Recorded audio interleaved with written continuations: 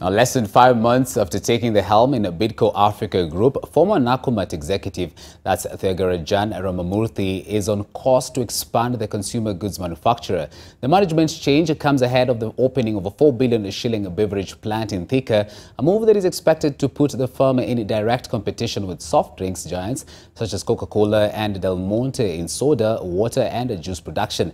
TRM, as the executive, is known to meet up with Zeynab Wandati and talk about the manufacturing sector and the company's strategy going forward. Bidco believes in uh, the value addition for the agro products and that is the, the mainstay of Bidco's philosophy today.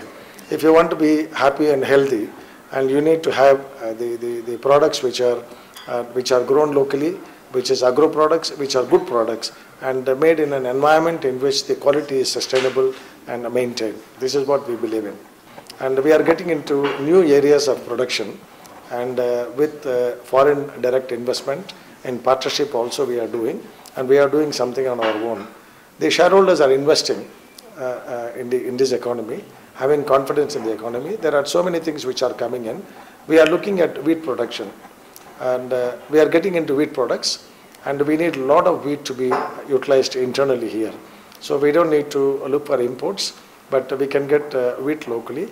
There are a lot of people who are coming and discussing with us and talking about thousands of acres of wheat production so that at least that can be used as a raw material. That is another area which is going to come up very soon.